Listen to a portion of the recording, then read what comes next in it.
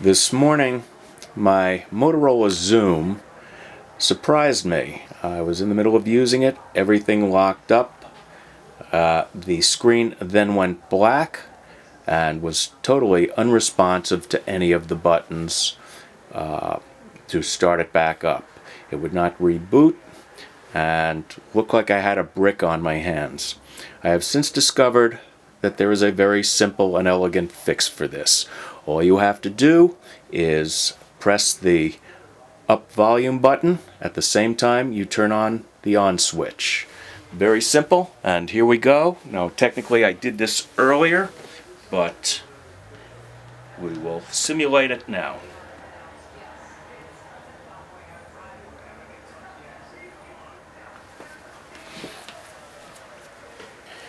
And that's what it took to reboot the machine. It's been fine since and has been working all day long.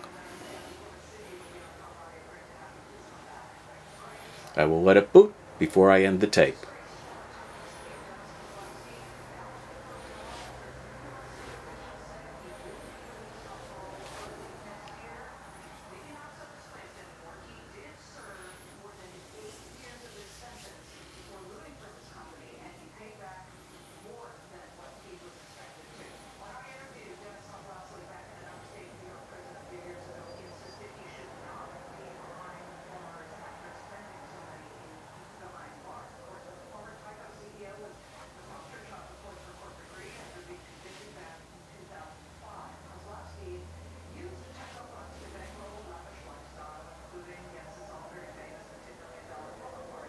And there you have it.